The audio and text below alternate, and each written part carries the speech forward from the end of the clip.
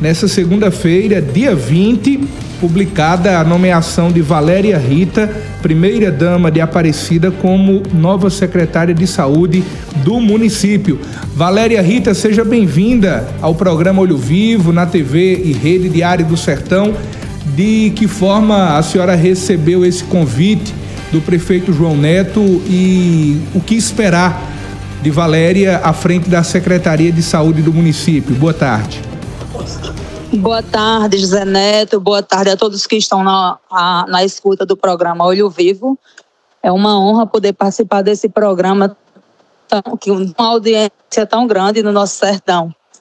É, João Neto, do, de, diante do afastamento da ex-secretária Najara, que houve a necessidade do afastamento devido a ela ter passado para fazer uma faculdade de medicina no estado de Pernambuco, em Olinda. E aí a gente viu que não tinha como, ela viu juntamente com a gente também, que não tinha como continuar à frente da pasta por conta da distância e o tempo que não teria disponível, né? E aí João, por, por um bom tempo, ficou analisando a melhor forma de conduzir esse processo, essa mudança de secretaria, já que ela também vinha exercendo um papel tão importante e tão bem na nossa cidade. Najara, ela se doou e ela muito capaz, muito preparada, ela se doou muito diante do município de Aparecida. E seria uma questão muito delicada também no momento que a gente está vivendo a escolha de um nome para a frente da secretaria.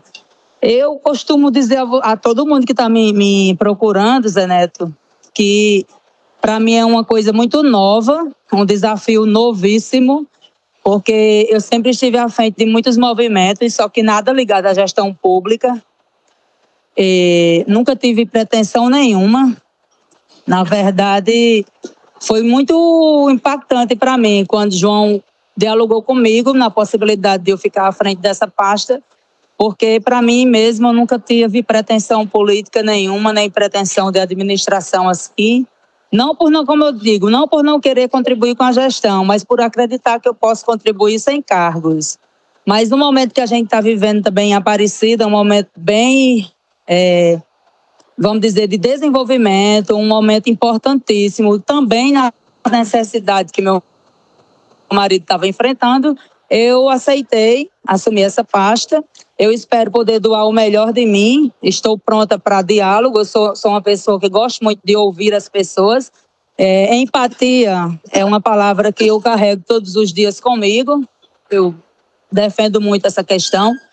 Conhecimentos técnicos, eu não vou mentir para você, dizer que sou expert nessa área da saúde, que eu não sou, mas eu estou aberta a aprender e a poder crescer juntamente com o meu município e poder oferecer o melhor que eu tenho, o melhor de mim para que essa pasta continue sendo conduzida e que o, os munícipes, o povo de Aparecida mesmo, seja o maior beneficiário com tudo isso. Valéria, qual é a realidade hoje da saúde de Aparecida? Nós sabemos que, além da zona urbana, tem também a zona rural em relação às unidades básicas de saúde, a marcação de exames, de consultas, os atendimentos especializados.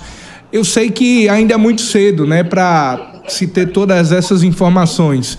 Mas como a senhora sempre esteve engajada na gestão, mesmo não tendo cargo, qual é a realidade hoje em relação às unidades básicas de saúde, aos profissionais que atendem no município e também aquelas consultas que acontecem em Souza, em João Pessoa, em outras cidades da Paraíba? Zé Neto, eu, no meu ponto de vista, quanto cidadã aparecidense, eu vejo que a saúde de Aparecida está caminhando muito bem. Ela vem desde o início da gestão do prefeito João Neto, de muitos crescimentos, muitos avanços. É, João Neto levou a saúde para muitas comunidades rurais que não tinham acesso a médico na comunidade. E um, um dos maiores é, beneficiamentos que hoje a gente está tendo, maiores benefícios que a gente está tendo também, como João costuma dizer em todas as imprensas, é a Casa de Saúde, a Casa de Apoio em João Pessoa. Algumas unidades ele abriu na zona rural, que não existia, outras que tinham a tendência a fechar, ele manteve esse processo. E assim, eu acho que com a conquista do SAMU, da Policlínica, que vai que a gente está assinando também recentemente, em breve a gente estará assinando um convênio com o governo do estado para manter a policlínica. Tudo isso é só desenvolvimento. Então, o meu ponto de vista é que a saúde tem, tem uma, um, um, crescimento desde o início da gestão de João até os dias de hoje. É só a tendência é crescer e a gente sente a população muito satisfeita, graças a Deus.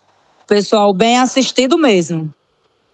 Valéria, nós sem sabemos contar também que... que eu vejo, sem contar também que eu vejo muito uma parceria da gestão com os efetivos que são o pessoal também da, da os ACS e essa, esse diálogo e esse acesso entre gestão e pessoas que estão à frente também da saúde é muito importante. Realmente, muito importante. Valéria, nós sabemos que quando há uma mudança em uma gestão, aquele novo secretário ou nova secretária quer deixar também a sua impressão digital. Cada um tem o seu modo de trabalhar, cada um tem a sua, o seu dinamismo pessoal que quer deixar também na gestão. Qual é, na, na visão de, de Valéria, um projeto, uma ideia que a senhora deseja colocar em prática para deixar a sua marca também à frente da Secretaria de Saúde do município? Zé Neto, eu confesso para você que ainda não deu tempo de pensar, sabe? Que João conversou comigo na sexta-feira, então foi tudo muito de repente.